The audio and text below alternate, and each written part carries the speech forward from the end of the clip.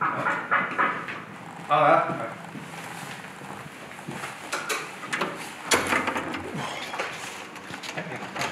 你好，你的快递请签收一下。哦，好好好，谢谢。哎哎，等一下，等一下，等一下，不要走，不要走。形象的这么好，要不给我们今天的节目做个模特吧？可以吗？可以啊，没问题啊！这么精心打扮的快递员，最得适合做我们这个节目的模特。啊，你放心吧，我们不会做什么坏事情啊。我们的快递小姐姐给我们带来了什么呢？电灯泡，还有灯光调节器。啊，为什么需要这些东西呢？啊，就是因为啊，我上一次辛辛苦苦做了一期教大家怎么提高 vlog 讲话时布景的视频，结果有人居然在评论里面说自己没钱买不起这么好的灯光。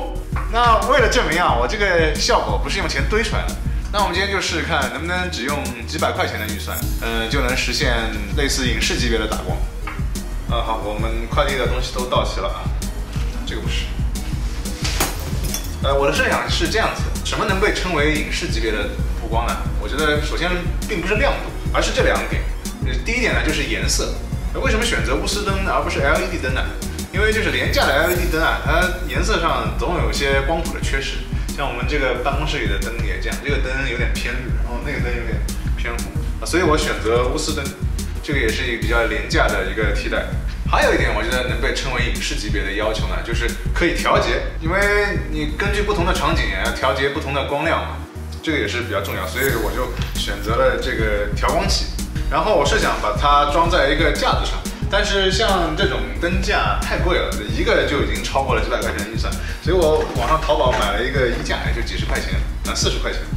然后把它装在架子上之后呢，用柔光纸去柔化它，啊柔光纸很便宜，那个十几块钱一大纸。那我的初步设想是这样的，但不知道能不能成功啊。现在把灯泡拧到调光器上，每个钨丝灯泡的亮度是五十五瓦，我们主光就先用五个灯泡吧。要不要说个场外音，讲我们讲我们在拼架子？我就场外音啊，你们俩不给我装。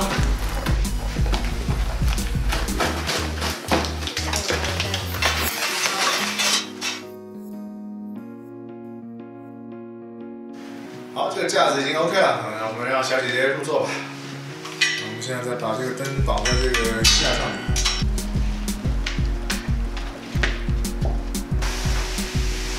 哦，对，我们之前买的时候没有想好怎么固定，对吧？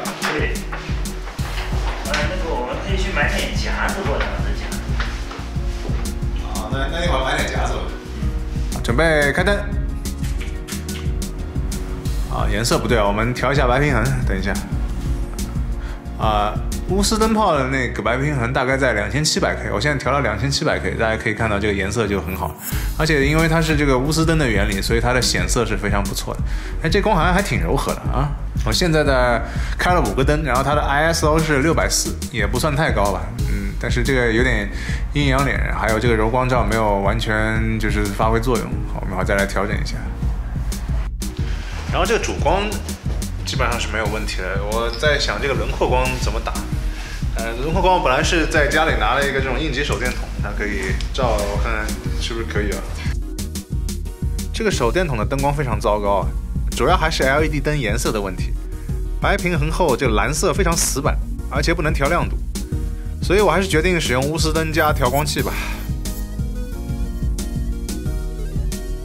这个观感不错啊，头发轮廓光很明显啊，使面部也很有层次，但光线太散了，而且还照到了背后的墙上。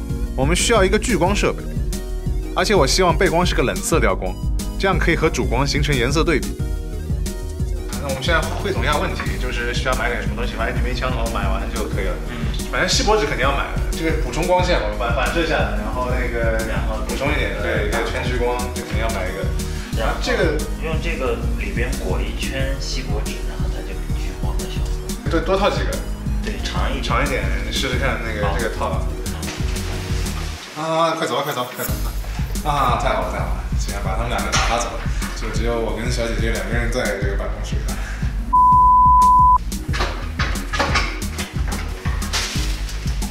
啊，回来了，回来了。啊，我这边还没完事呢，你就回来。买了杯子对吧？夹子，好。我们在灯架的侧后方都包上锡箔纸，这样可以把灯泡向后的光呢都反射回去，增加整体亮度，提高灯光的利用率。噔噔噔噔噔噔，好了，我们拼好了，这个就是我们自己自制的钨丝灯灯箱，期待它打开是什么效果。好，备开。好，啊，这个灯光很不错啊，非常的柔和，而且颜色也不错，好像还是挺令人满意的。就是它这个方向没有办法从上面四十五度打下来。好，但是我觉得现在背景的灯光太暗了，我们想办法做一些调整啊。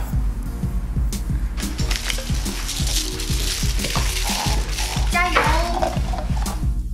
我们现在连接几个一次性杯，在内部铺上反射光的锡箔纸作为束光筒，完成。光筒也做好，看一下它效果。前面试过的，效果非常好，一柱擎天。看一下它照在墙壁上的那个印子，对，一个一个圆圈，这个聚光效果非常好。我们在前面粘上蓝色色纸，就是一个冷色调的背后硬光。现在做的是一个反光的罩子，把这个灯泡放在当中，然后靠这个锡箔纸反射到天花板。趁小哥哥还在做的时候呢，我这边提一下，我这次用的是佳能五十一点八小单一的镜头，因为我估计看我这个前一教程呢，那是不会用什么很贵的镜头。